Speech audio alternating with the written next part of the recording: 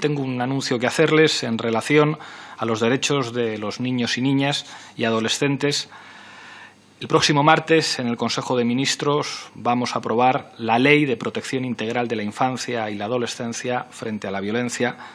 que muchos ya llaman la Ley Rhodes por el trabajo ingente de este gran pianista. Como saben, esta ley está llamada a ser el primer proyecto que sacará adelante, que iba a sacar adelante esta vicepresidencia, pero su aprobación se vio interrumpida por la llegada de la pandemia, aunque ya estaba prácticamente lista. Pues bien, les anuncio que los equipos de la vicepresidencia segunda están trabajando en estos momentos para que este mismo martes, martes, como les estoy diciendo, vea la luz esta ley, que va a ser fundamental para proteger los derechos de la infancia y la adolescencia en nuestro país y que a mí me llena de orgullo poder impulsar como vicepresidente de Derechos Sociales y Agenda 2030 de este Gobierno. Les recuerdo algunos aspectos que van a ser los elementos fundamentales de esta ley. Se va a establecer el deber para todos los ciudadanos de denunciar de forma inmediata la existencia de indicios de violencia ejercida sobre niños, niñas o adolescentes se creará una nueva figura, la del coordinador de bienestar y protección, que estará presente en todos los centros educativos y se van a establecer protocolos de actuación frente a indicios de acoso escolar, ciberacoso, acoso sexual, violencia de género, suicidio, autolesión y cualquier otra forma de violencia. Se van a crear unidades especializadas en las fuerzas y cuerpos de seguridad y se va a dar formación específica y especializada a jueces y fiscales. Se van a fijar protocolos de prevención obligatoria en todos los centros de menores, con planes específicos de prevención y detección precoz ante posibles casos de trata con fines de explotación sexual de personas menores de edad. Se va a crear un registro central de información sobre la violencia contra la infancia y, muy importante, el plazo de prescripción de los delitos graves contra menores no empezará a correr hasta que la víctima haya cumplido 30 años. La, aprobación de esta ley va a ser un paso histórico para que las generaciones actuales y futuras de niños, niñas y adolescentes puedan crecer libres de violencia.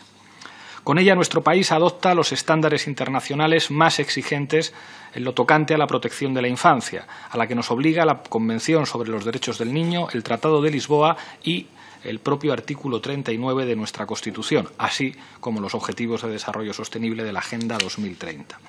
no solo va a contribuir a frenar la reproducción de una realidad execrable, como es el maltrato y la violencia contra niñas, niños y adolescentes, sino que también va a ayudar a prevenir muchas de las peores consecuencias físicas, emocionales y psicológicas que esta realidad tiene sobre quienes la sufren. Es una ley que está diseñada para implicar al conjunto de la sociedad en la respuesta frente a la violencia contra la infancia y la adolescencia, tratando de revertir la invisibilización de este tipo de situaciones que se encuentran muchas veces detrás de su propia reproducción. Creo que el marco de seguridad y capacidad de desarrollo personal que esta ley establece se va a convertir en una de las mayores garantías de igualdad de oportunidades para niños, niñas y adolescentes en España. Por último, señorías, me gustaría informarles de algunas de las medidas adoptadas durante esta semana, de estas semanas por la Dirección General de Derechos de los Animales y que tuve ocasión de explicar también hace pocos días cuando comparecí en el Senado. Como saben, cuando se creó esta vicepresidencia, se creó también bajo su competencia y por primera vez en la historia de España una Dirección General de Derechos de los Animales. A raíz de la emergencia de la COVID-19,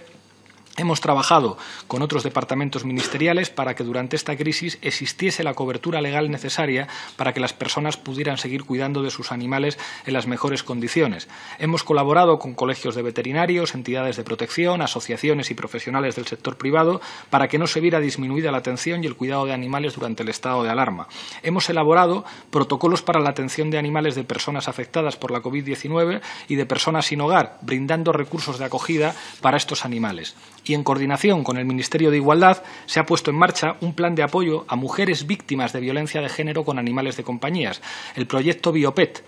En torno al 30% de mujeres víctimas de violencia machista tienen animales de compañía y los recursos de atención no admiten dichos animales lo que contribuye a que un porcentaje muy amplio de estas mujeres no den el paso de denunciar y abandonar la vivienda que comparten con el agresor para no tener que abandonar a su animal de compañía. Bajo el plan que se ha puesto en marcha, estos animales son alojados en casas de acogida. Esto facilita que estas mujeres que no quieren dejar a sus animales atrás puedan efectivamente abandonar la vivienda que comparten con el agresor.